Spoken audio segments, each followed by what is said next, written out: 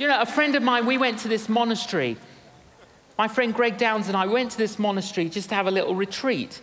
And uh, uh, there's a little guest house, and you have your meals not with the monks, but with the guests. And, and because it was a little retreat we're having, I like, you know, I, I wasn't into, oh, let's meet the other guests, really. And I just didn't want to kind of engage with them. And I thought, oh, well, they're all there, you know, they're all kind of religiously people, you know. So we go down for your light bowl of soup and uh, little bit of bread. Well, it's quite hard, the bread. And. Um, so we sit round this one table. Anyway, one, one guest said to the guy opposite me, Oh, why have you come? And he said, Oh, I've heard that you can find God in places like this. That's why I've come. Then the guy just at the end of the table says, That's amazing, because the reason I've come is because I've come to see if I can find God. So I look at my friend Greg, and then the guy opposite me says, What do you do? I didn't go, oh, I'm going to go to a monastery and I'm going to find non Christians and I'm going to headbutt them into the kingdom.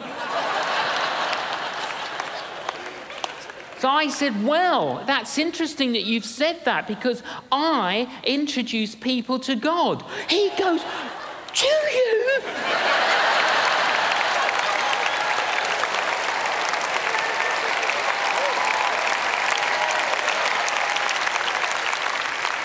Said, I do. I said, I can introduce you to him because I know him well. They're like the whole table. You know him?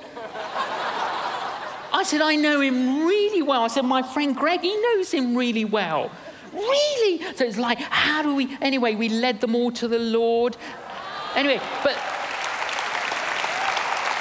Anyway, but the next day, that one guy who's had like depression for about 23 years, he comes down, he says, I've had the first best night's sleep in 23 years that I've ever had.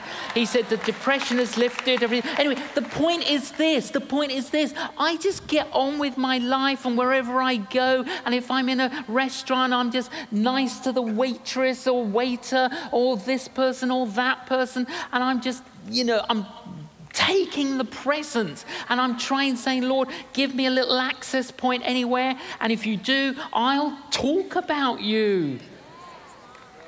I'll talk about you. You know, what is evangelism? I'll give you my definition of evangelism, right? This is my definition. I, have thought about this, I've studied it, I've lectured on it, I've written books on it. Here is my definition Evangelism is giving out an invitation to a party that's out of this world.